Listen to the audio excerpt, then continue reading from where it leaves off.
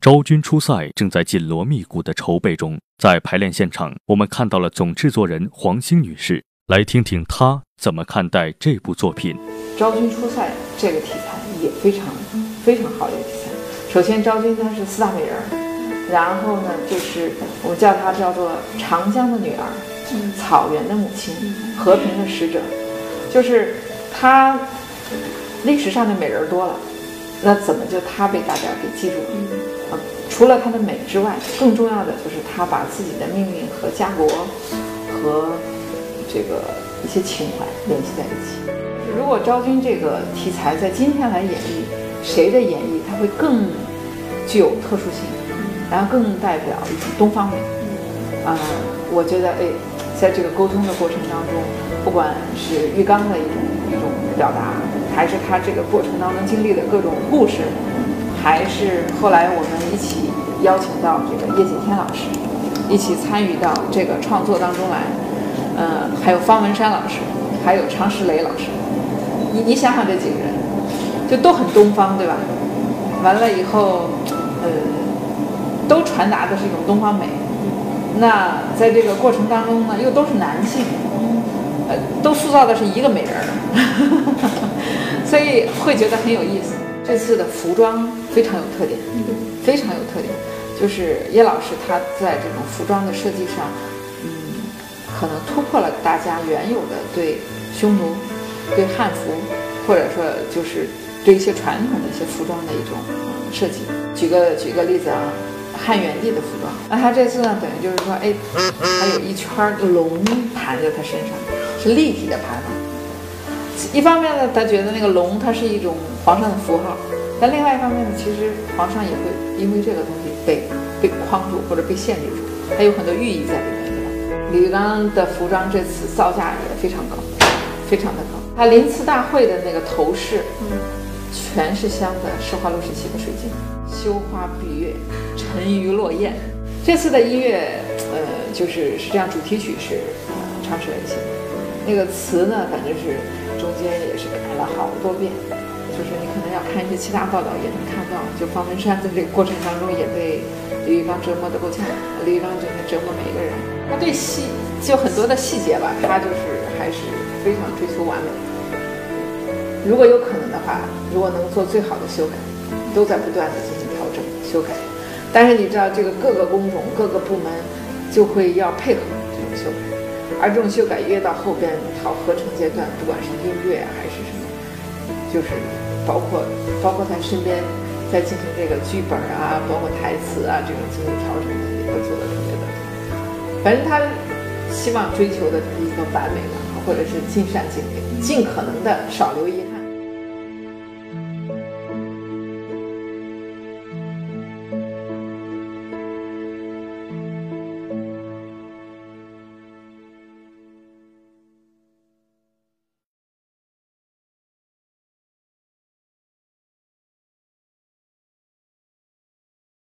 被被框住或者被限制住，它有很多寓意在里面，对吧？李玉刚的服装这次造价也非常高，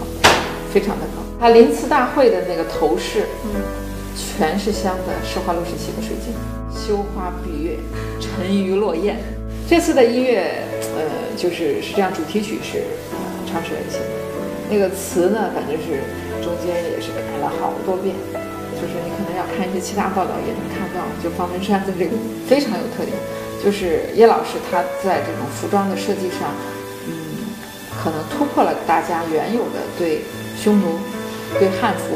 或者说就是对一些传统的一些服装的一种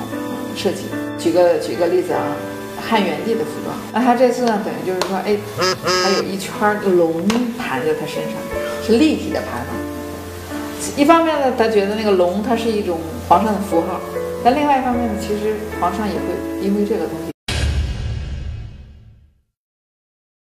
昭君出塞正在紧锣密鼓的筹备中，在排练现场，我们看到了总制作人黄兴女士，来听听她怎么看待这部作品。昭君出塞这个题材也非常非常好的一个题材。首先，昭君她是四大美人。然后呢，就是我们叫她叫做长江的女儿，草原的母亲，和平的使者，就是她历史上的美人多了，那怎么就她被大家给记住了？啊，除了她的美之外，更重要的就是她把自己的命运和家国和这个一些情怀联系在一起。如果昭君这个题材在今天来演绎，谁的演绎它会更具有特殊性，然后更代表一种东方美。啊，我觉得哎，在这个沟通的过程当中，不管是玉刚的一种一种表达，还是他这个过程当中经历的各种故事，还是后来我们一起邀请到这个叶锦添老师，一起参与到这个创作当中来，呃，还有方文山老师，还有常石磊老师，你你想想这几个人，就都很东方，对吧？完了以后，呃，都传达的是一种东方美。那在这个过程当中呢，又都是男性，呃，都塑造的是一个美人儿，所以会觉得很有意思。这次的服装非常有特点，哎，还有一圈龙盘在他身上，是立体的盘嘛。一方面呢，他觉得那个龙它是一种皇上的符号，但另外一方面呢，其实皇上也会因为这个东西被被框住或者被限制住，还有很多寓意在里面。李玉刚的服装这次造价也非常高，非常的高。他临次大会的那个头饰，嗯，全是镶的施华洛世奇的水晶，羞花闭月，沉鱼落雁。这次的音乐，呃，就是是这样，主题曲是呃唱诗人写的，那个词呢，反正是中间也是改了好多遍。就是你可能要看一些其他报道也能看到，就方文山在这个过程当中也被李玉刚折磨得够呛，李玉刚整天折磨每一个人。他对细就很多的细节吧，他就是还是非常追求完美。如果有可能的话，如果能做最好的修改，都在不断的进行调整修改。但是你知道，这个各个工种、各个部门就会要配合这种修改，而这种修改越到后边到合成阶段，不管是音乐还是什么，就是。包括包括他身边在进行这个剧本啊，包括台词啊，这种进行调整的也都做的特别的。反正他希望追求的一个完美嘛，或者是尽善尽美，尽可能的少留遗憾。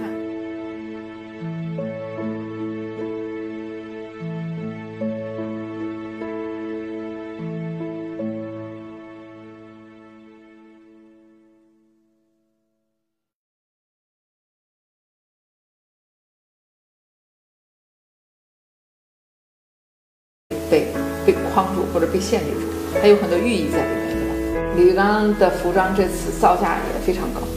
非常的高。他临次大会的那个头饰，嗯，